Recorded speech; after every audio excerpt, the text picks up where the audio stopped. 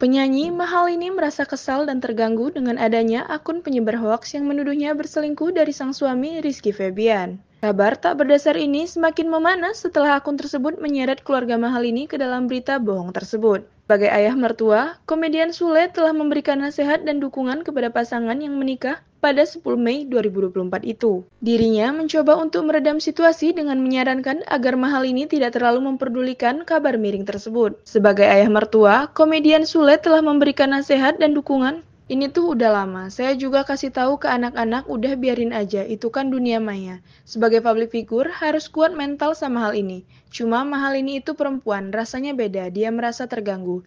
Lini juga bilang kalau dia sendirian diusik nggak apa-apa, tapi ini udah bawa keluarganya. Kata Sule saat ditemui di studio Trans TV Tendean, Jakarta Selatan kemarin. Penyanyi kelahiran dan pasar itu sudah berusaha untuk menghubungi akun penyebar hoaks tersebut.